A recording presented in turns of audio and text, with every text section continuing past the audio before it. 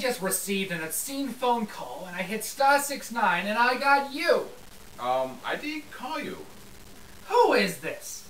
Is this faggot Joe? No, my name is William. Dun dun dun dun. You hear that, Willie Billy? Dun dun dun dun dun. I knew it was you, Willie. You gave it all away. If I had Judge Judy here, she'd be bringing down the gavel of justice on you. But I didn't call you. I Willie. what? Did you know that you're missing your left arm? Oh my God, you're right. It's gone. Oh God. Oh. What a maroon.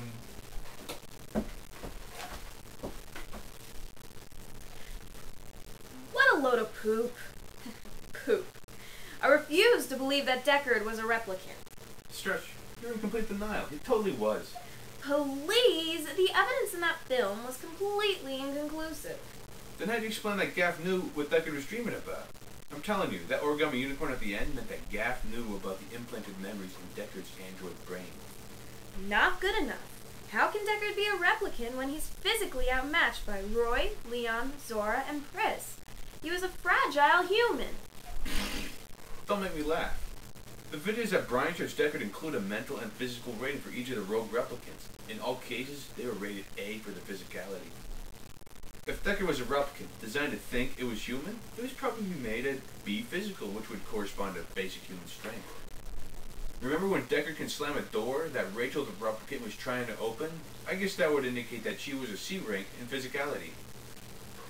Would you like some more moose juice? Nah, we're fine. Everything is fine. I'll get you your check. What's with him? Whoa. Everything I'm about to tell you is a joke. Do not take it seriously. Uh, alright. See that car out there? It's a hitchhiker attack car.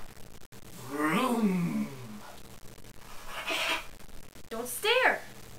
See that car? It's a hitchhiker attack car. It has been remodeled to home in and attack hitchhikers. A hitchhiker attack car? A hitchhiker attack car.